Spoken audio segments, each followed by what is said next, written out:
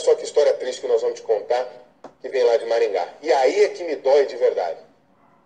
Um inventor, 26 anos de idade o rapaz, ele foi testar uma máquina, uma máquina de alta pressão, e acabou morrendo no meio dessa história. Fábio Guilherme, um ótimo dia para você. Essa máquina, ele mesmo tinha inventado? Como é que foi essa história? Muito bom dia para você também, Varório. Bom dia a todos. Ele sim. De acordo com a família, o jovem adorava inventar equipamentos domésticos.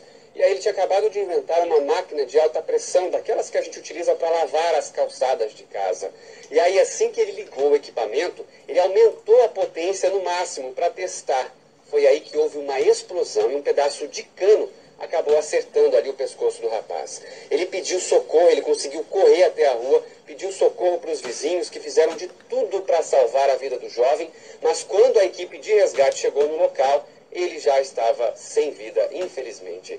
A polícia militar esteve no local, como a gente vê nas imagens, registrou ali um boletim de ocorrência. Os moradores do conjunto Requião, onde aconteceu essa fatalidade, também foram todos para a rua, ficaram ali acompanhando, todos perplexos com essa tragédia, Rivaroli. Jovem que só gostava de inventar aí equipamentos domésticos, tinha 26 anos, infelizmente morreu.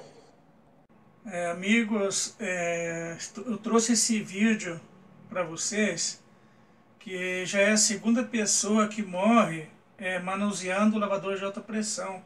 Então, amigos, eu peço para vocês que tomem muito cuidado na hora de mexer na lavadora de alta pressão, tá, amigos? É, é você mexa com cautela para que não venha acontecer o que aconteceu com esse rapaz aí de 26 anos.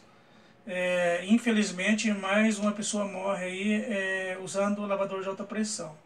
Obrigado e até o próximo vídeo.